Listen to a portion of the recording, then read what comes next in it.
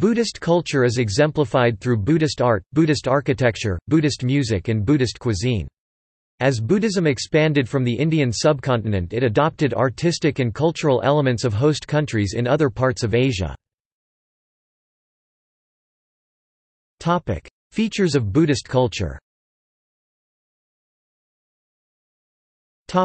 Buddhist economics Economics or the way in which work life is organized and the demands of production are met form an integral part of any culture. Buddhist economics forms an integral part of the Buddhist culture.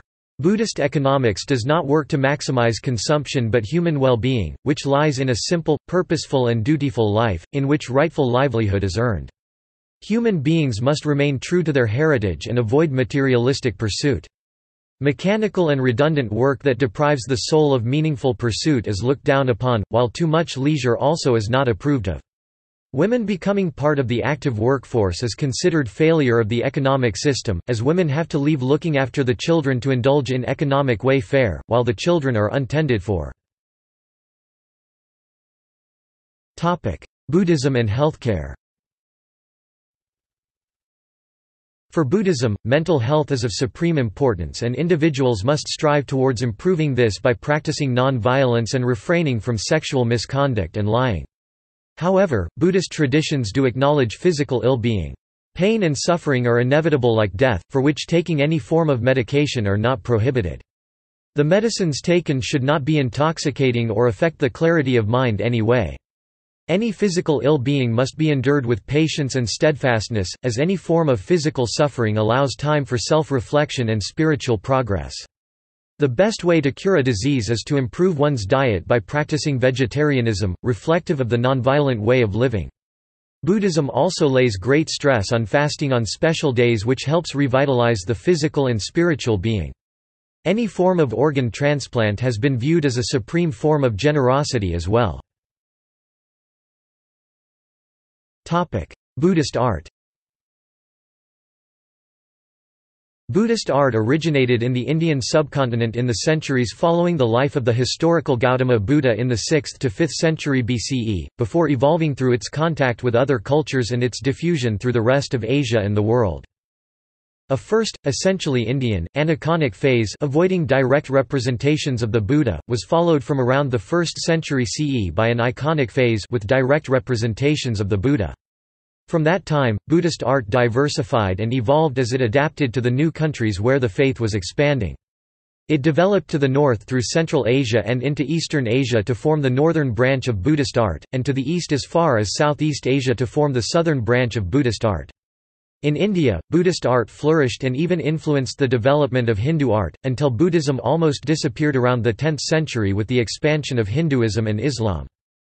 In the earliest form of Buddhist art, the Buddha was not represented in human form but instead was represented using signs and symbols such as footprints or an empty throne.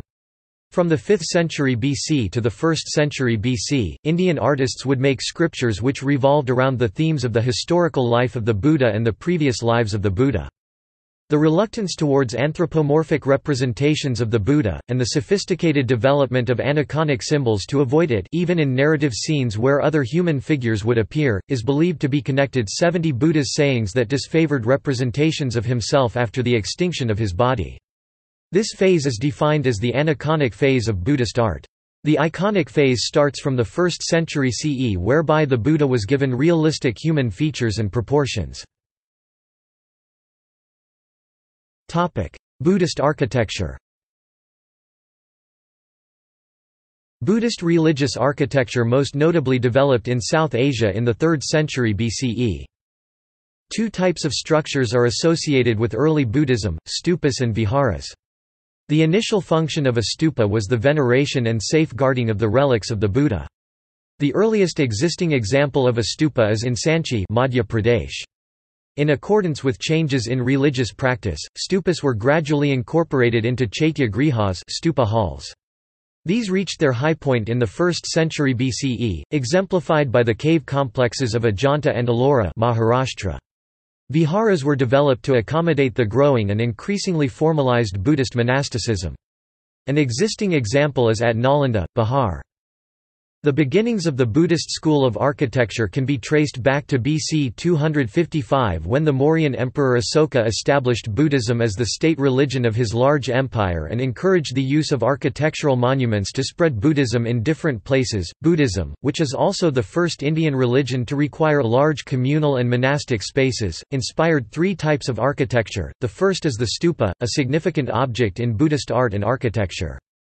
The stupas hold the most important place among all the earliest Buddhist sculptures.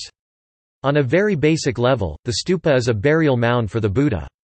The original stupas contained the Buddha's ashes. Stupas are dome-shaped monuments, used to house Buddhists' relics or to commemorate significant facts of Buddhism. The second type of architecture unique to Buddhism is the vihara, a Buddhist monastery that also contains a residence hall for the monks. The third type is the chaitya, an assembly hall that contains a stupa without relics. The central hall of the chaitya is arranged to allow for circumambulation of the stupa within it. Buddhist music Buddhist music prominently includes honkyoku, Buddhist chant, and shomyo. Honkyoku are the pieces of shakuhachiyoku for enlightenment and alms as early as the 13th century. Buddhist chant is the chant used in or inspired by Buddhism, including many genres in many cultures. It includes repetition of the name of Amitabha in Pure Land Buddhism, shomyo in Japanese Tendai and Shingon Buddhism, Throat singing in Tibetan Buddhist chant one aspect of Tibetan Buddhist music musical chanting, most often in Tibetan or Sanskrit, is an integral part of the religion. These chants are complex, often recitations of sacred texts or in celebration of various festivals. Yang chanting, performed without metrical timing, is accompanied by resonant drums and low, sustained syllables. Shomyo is a style of Japanese Buddhist chant, mainly in the Tendai and Shingon sects. There are two styles, Ryokyoku and Rikyoku, described as difficult and easy to remember, respectively. Many ritual musical instruments are used in association with Buddhist practice including singing bowls, bells, tingsha, drums, cymbals, wind instruments and others. The relationship between Buddhism and music is thought to be complicated since the association of music with earthly desires led early Buddhists to condemn the musical practice, and even observation of musical performance, for monks and nuns. However, in Pure Land Buddhism Buddhist paradises are represented as musical places in which Buddhist law takes the form of melodies. Most Buddhist practices also involve chant in some form, and some also make use of instrumental music and even dance. Music can act as an offering to the Buddha, as a means of memorizing Buddhist texts, and as a form of personal cultivation or meditation. In order to purify the hearts of listeners, Buddhist melodies are strong yet soft and pure. Buddhist music plays a central role in everyday cultural practices of Buddhists since it is also played in many ceremonies such as weddings and funerals. Buddhist music developed when Buddhism spread to Tibet. The Tibetan traditions of Buddhism encourage the use of song and dance in certain ceremonies. A wide variety of instruments such as specialized types of drums, windpipes, spiral conches, and trumpets were used in larger ceremonies.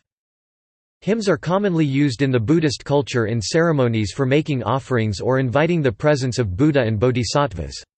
Buddhist hymns express the five virtuous qualities that are sincerity, elegance, clarity, depth, and equanimity and it is believed that regularly listening to Buddhist hymns or fanbei can give the following five graces, a reduction in physical fatigue, less confusion and forgetfulness, a reduction in mental fatigue, greater eloquence, and greater ease in expression and communication.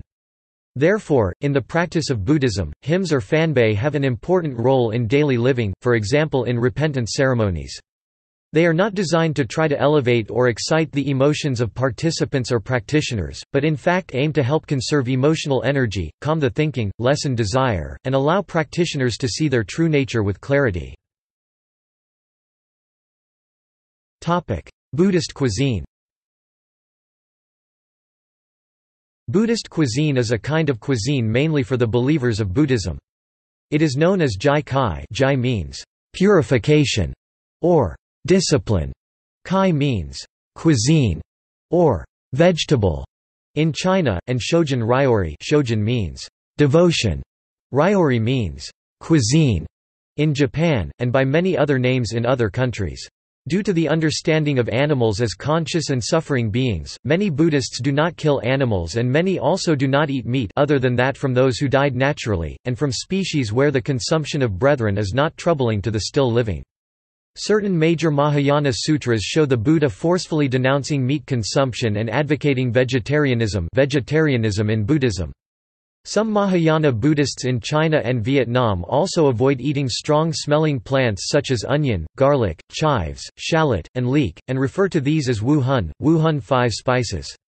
Buddhist vegetarian chefs have become extremely creative in imitating meat using prepared wheat gluten, also known as seitan or wheat meat, soy such as tofu or tempeh, agar, and other plant products. Some of their recipes are the oldest and most refined meat analogues in the world. Buddhism forbids alcohol and other intoxicants because they may result in violations of others of the five moral precepts no killing, stealing, sexual misconduct, lying or partaking of intoxicants. In addition, intoxicants cloud the mind and interfere with the concentration needed to achieve enlightenment. Some Buddhist sects in China and Vietnam are forbidden onions, garlic, scallions, chives and leeks, which are known as the five pungent spices. The spices are said to lead to anger raw and passion cooked, and their odor is also said to repel gods and attract hungry ghosts and demons. Strict adherence to vegetarianism is the rule for priests, monks, nuns and those who feel they are on the bodhisattva path, except in some schools and sects. Buddhist festivals Japanese festivals and Barua festivals often involve Buddhist culture, as do pagoda festivals held as fairs held at Buddhist temples in Myanmar. Features of Buddhist Tibetan festivals may include the traditional Cham dance, which is also a feature of some Buddhist festivals in India and Bhutan. Many festivals of Nepal are religious festivals involving Buddhism, as are many Burmese traditional festivals. Lunar New Year festivals of Buddhist countries in East, South and Southeast Asia include some aspects of Buddhist culture, however they are considered cultural festivals as opposed to religious ones. Buddhist institutions Buddhist monasticism Buddhist councils Other cultural elements Buddhism and society Art and architecture of Japan Buddharupa religious statues Thangka religious paintings. Topic. See also. List of Buddhist festivals. Religious festival. Buddhist holidays. Buddhist calendar. Topic References. External links. Sacred Visions, Early Paintings from Central Tibet, an exhibition catalogue from the Metropolitan Museum of Art fully available online as PDF, which contains material on Buddhist culture and art. Manuel Valencia, A Conceptual Buddhist Approach